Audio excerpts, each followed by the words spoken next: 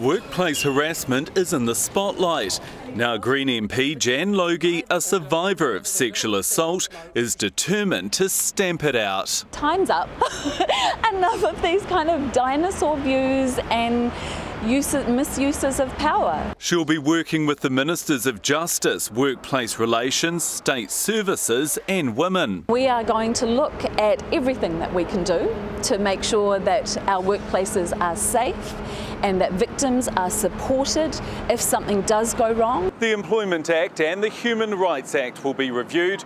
WorkSafe is also being asked to investigate what assistance it can offer to employers. Business leaders like the idea. WorkSafe could provide some effective guidelines and assistance to help employers develop processes to make sure that sexual harassment doesn't happen in the workplace. The international Me Too movement is giving many women the power to speak out.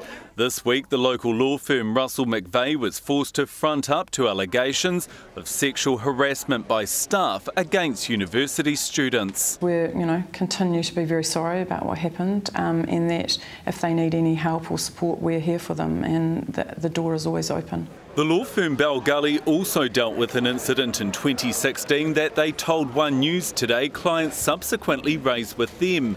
And while those firms say they have protocols and practices in place to deal with such incidents, Jan Logie's worried that many workplaces don't and will only respond when the damage has already been done. Ryan Boswell, One News.